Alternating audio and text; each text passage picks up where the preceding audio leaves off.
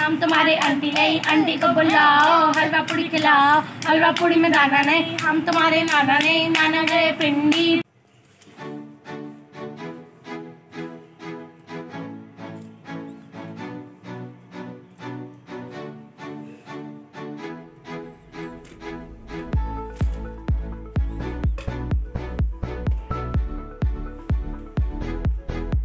अस्सलाम वालेकुम जी, क्या हाल चाल है आप सबका? आई होप कि आप सब ठीक ठाक होंगे और मैं फिर से वापस आ गई हूँ आप लोग का हाल पूछने के लिए। सुनाएँ, कैसे हैं आप सब? मैं भी बिल्कुल ठीक ठाक हूँ, लेकिन जब से आ गई हैं गर्मियाँ, इतनी सुस्ती, कायली, और कुछ भी करने को दिल नहीं करता। आज तो शुक्र है, मौसम थोड़ा बेहतर था तो मैंने सोचा चलो छत पे चली जाती हूँ, क्योंकि बहुत कम टाइम ही मैं छत पे जाती हूँ। जिस दिन मौसम ज़्यादा अच्छा हो, बस उस दिन दिल कर रहा होता है, यार जाऊँ। यहाँ पे मैं ख़ुद भी छत पे आई थी साथ बच्चे भी आ गए सारे कज़न वगैरह और शाहजैन को भी हम ले आए कि चलो भाई इसे भी छत ज़रा इन्जॉय कराते हैं। वैसे शाम के टाइम कहते हैं ना कि बच्चों को छत पे नहीं लेके जाना चाहिए, वो डर जाते हैं, ये वो। तो इसलिए फिर मैं छत पे कम ही जाती होती हूँ शाहजैन की वजह से। और थोड़ा मौसम भी अच्छा था तो इसलिए इसको भी लेकर आ गए ये भी इंजॉय कर रहे हैं।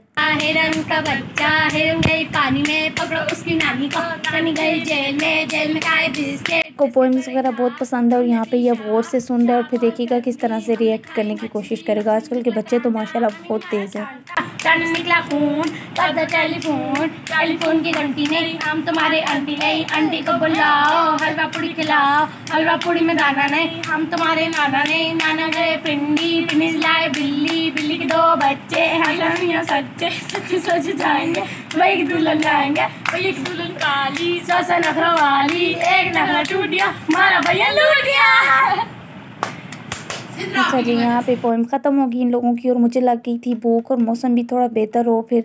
और मैंने खाना भी नहीं खाया हुआ था, इसलिए मैंने अपने लिए जो है वो, खैर मैंने मंगवाए थे अपने लिए गोलगप्पे, उसमें से वो जो चाट नहीं होती आलू वाली, वो बच गई थी। तो मैं आपको पता है कोई चीज़ वेस्ट नहीं जाने देती, मैंने उसका पराठा बना लिया।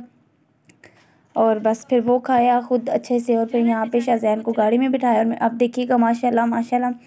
बच्चे इतने समझदार हैं आजकल के कि शाहजैन खुद जो है ना वो गाड़ी चलाने की कोशिश करता है। ये हम लोग अपने जहन अपने ख्याल में सॉरी बैठे हुए थे और यहाँ पे जो है इसने गाड़ी जो है स्टार्ट कर दी थी अभी देखिएगा। कैसे शाहजैन? ये शाबाश फिर से चलाएँ। आजकल के बच्चे बहुत तेज़ हैं वो एक दफ़ा देखते हैं क्या कर रहे हैं दूसरी दफ़ा वो खुद करने की कोशिश करते हैं और माशाल्लाह शाहजैन भी बिल्कुल ऐसा ही है। एक दफ़ा अगर ये देख लेना अब ये देखें। ये देखो, ये नया ड्राइवर है, कहीं नुकसान ही ना कर दे हमारा। अच्छा मैंने एक चीज़ नोटिस किया कि आप छोटे बच्चे को स्पेशली बड़े बच्चे तो फिर थोड़ा आराम से ही समझ रहे होते हैं बात को। छोटे बच्चों को आप एक दफ़ा, दो दफ़ा बस प्रैक्टिस करवा दें या कुछ बता दें तो वो हर चीज़ को बहुत जल्दी पिक करते हैं। और इसने भी, माशाल्लाह, इसके अंदर भी यही एबिलिटी है। अच्छा यहाँ पे जी, मुझे भूख लग गई थी, हो गया था रात का टाइम और मुझे तो ऐसे भी क्रेविंग आजकल बहुत ही ज़्यादा रहती है। कुछ ना कुछ खाने के चक्रों में रहती हूँ मैं। यहाँ पे मुझे समझ नहीं आ रही थी क्या बनाऊँ रोटी भी खाने का दिल नहीं कर रहा था तो फिर मैंने यहाँ पे सैंडविचेस बना लिए पहले तो। बाकी तो सारी चीज़ें मेरे पास पड़ी हुई थी, वो शामी कबाब भी मैंने फ्रीज़ किए हुए होते हैं।